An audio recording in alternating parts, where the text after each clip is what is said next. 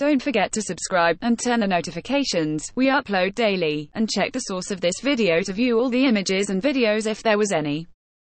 First Lady Melania Trump has been busy working on her Be Best campaign and other related duties as First Lady.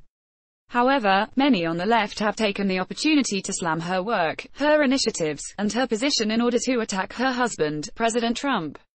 When a news outlet recently reported that President Trump and the First Lady got into an argument over her decision to watch CNN, the First Lady's press department decided to finally lay down the law and what they gave is something nobody was prepared for.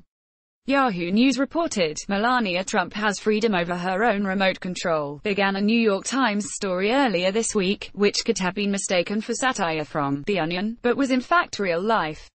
The story referred to a statement the First Lady's communications director Stephanie Grisham gave to CNN, proclaiming that Trump can watch any channel she wants.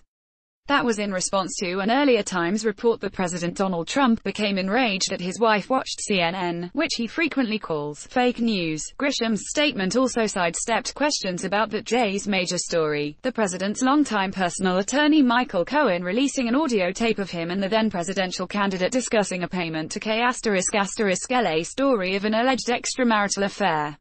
She instructed reporters to instead focus on the First Lady's Be Best children's initiatives, to which her husband has devoted little attention since becoming president.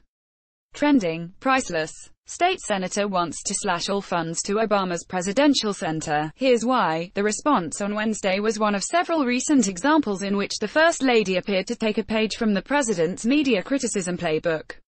Using similar rhetoric to that of her husband, she tweeted in May that, the media is working overtime speculating where I am, referring to reports on how she had not appeared in public for nearly a month, unusual for a public figure such as the First Lady. After a Rose Garden launch event for Be Best this spring, Grisham released a lengthy statement accusing the opposition media of baseless accusations towards the First Lady and her new initiatives, and instructing reporters to be best in their own professions. The baseless news coverage. The pamphlet for the program contained language that was identical to text from an Obama administration booklet on cyberbullying and online security. Asked about the comparisons to the president, Grisham said that the East Wing has its own press strategy, and disputed that she only responds through criticism of the media. I put positive tweets, readouts, videos out constantly, she wrote in an email. In my opinion, the media chooses to cover the more salacious gossip or silly speculation in order to get headlines or clicks. To be honest, I wish they would cover more of her work on behalf of children, rather than some of the things they choose to focus on. These critical responses to press coverage have occurred in tandem with Melania Trump's gradual and at times rocky ascension to her position as First Lady, often fraught with challenges and seen as arcane and sexist. According to scholars who have studied the communications strategies of First Ladies, it's yet another way in which Trump has taken a radically different approach to the role.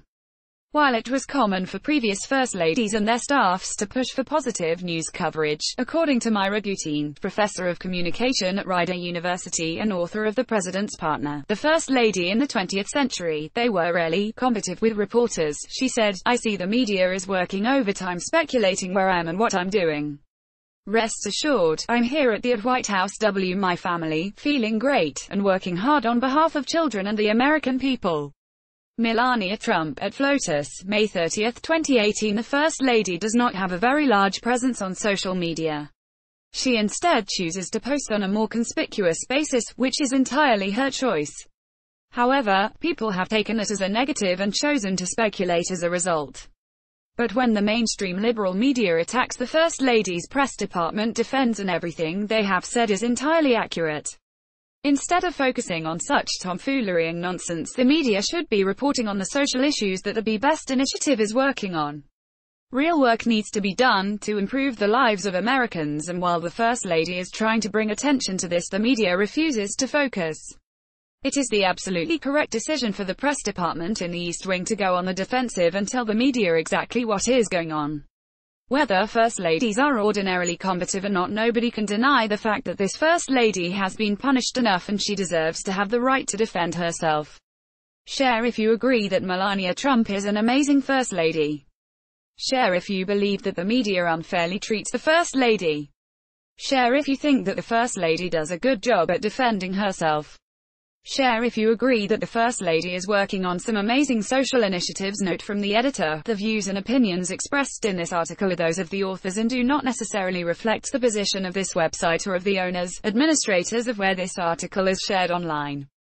Claims are made in this piece are based on the author's own opinion and not stated as evidence of fact.